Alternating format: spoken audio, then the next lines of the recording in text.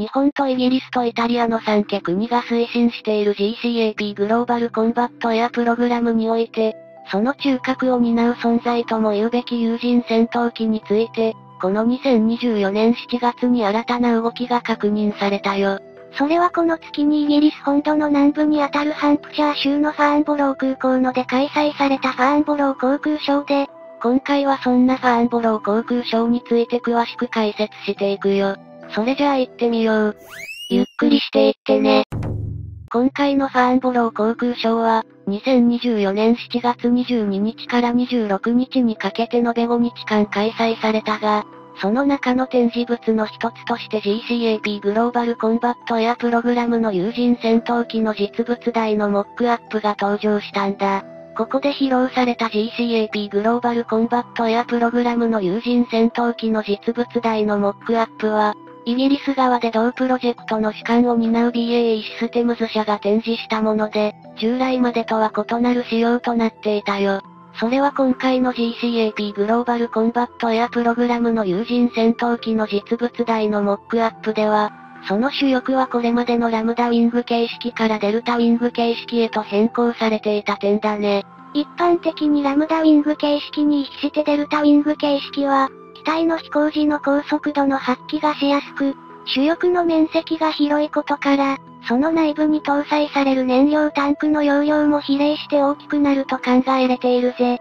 従って披露された GCAP グローバルコンバットエアプログラムの有人戦闘機の実物大のモックアップからは、単純に燃料タンクの容量が増した分だけ航続距離も伸び、作戦行動範囲が大きくなったことが伺えたな。加えて今回のファーンボロー航空ショーにおいて、GCAP グローバルコンバットエアプログラムの有人戦闘機の実物大のモックアップの詳細な諸言らは明示さなかったものの、機体そのものもかなり大型であったことは見て取れたわけだ。世界初の実用化されたいわゆる第5世代戦闘機の祖であるアメリカはロッキード・マーチン社の F22 ラプターはもちろん、それに続く機体として日本の航空自衛隊も導入を進めている同社の F35 ライトニング2も、その最大のセールスポイントは優れた機体そのものステルス性にあるよ。故にこれらのいわゆる第5世代戦闘機においても、そのステルス性能を最大限に発揮させるためには、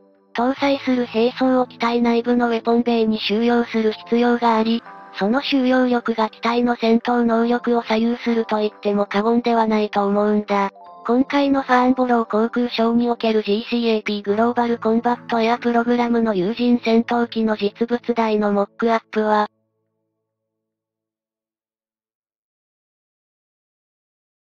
従ってそれらの機体よりも当然数量重量ともに多くの兵装を搭載することが想定されていると考えられ、ことに航空自衛隊にとっては、同機が代替することが求められている。現行の F2 が搭載可能な4発の空対艦誘導弾を超える数の同兵器の運用が見込まれていると思われるぜ。その意味において GCAP グローバルコンバットエアプログラムの有人戦闘機は、純粋な敵機との快適を想定した機体というより、いわば現行の F15 イーグルの最新型などが担い得る戦闘爆撃機という区分に近いと言えるのかもしれないな。そこから想起するに今後の航空自衛隊の戦闘機の役割分担としては、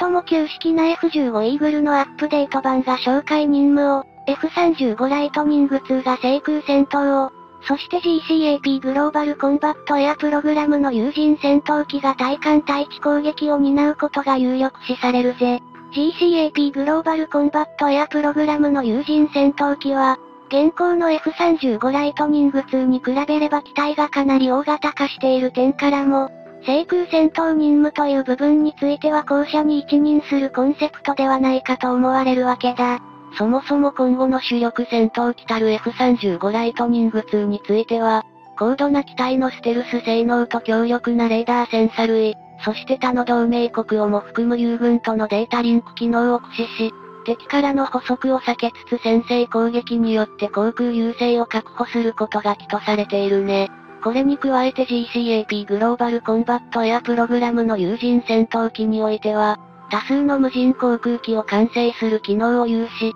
航空優勢を確保するための司令塔的な役割を担うことに主眼が置かれているようにも感じられるんだ。ただし興味深いのはいわゆる第5世代戦闘機とみなされている、日本を含む西側諸国で事実上のディファクトスタンダードとも目される F35 ライトニングツーは。敵の航空機に対する正攻法での空中戦での実戦経験はほとんどないという点だろうな。最近紛争の拡大が世界的に懸念されている中東方面において、イスラエル空軍は F35 ライトニング2の自国仕様である I 型を実戦投入したとも言われているが、敵機に対する制空任務ではなく、対地攻撃用途に使用されているという側面が強いぜ。こうした F35 ライトニング2のイスラエル空軍における活用事例を鑑みても、今の紛争や戦闘でいわゆる第5世代戦闘機同士が空中戦闘を行うような展開はあまり想定されておらず、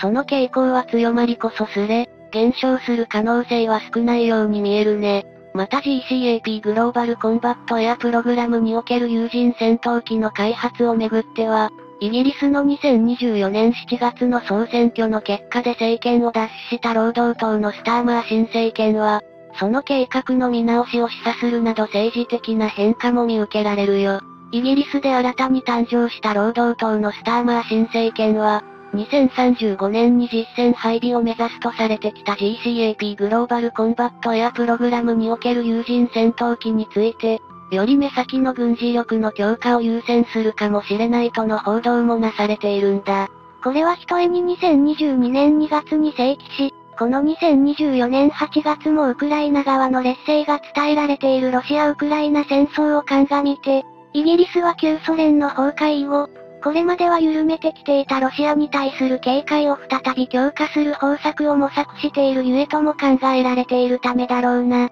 その意味ではイギリスは既存の主力戦闘機であるユーロファイタータイフーンの最新型の数を確保する方が、目先の脅威に対抗する上では有効でな投資なのではないか、という議論にも一理あり、今度の動向にも注目が注がれているぜ。何やら逆説的な話ではあるけど、イギリスにとってロシア・ウクライナ戦争が長期化していなければ、有人戦闘機の開発についても将来を見通した上での投資という選択に重きが置かれていたものが、2035年の実戦配備では遅いとの意見も一定の評価を獲得しているとも言えるね。ただしイギリスと日本との安全保障環境において大きく異なるのは、前者はいかにロシアとの再びの対峙が喫緊の課題となっていることに比べ、日本のそれは著しく海軍力の増強を推し進める中国の存在である点が大きいだろうな。すでに単純な艦艇数において中国海軍はアメリカ海軍のそれを凌駕した上、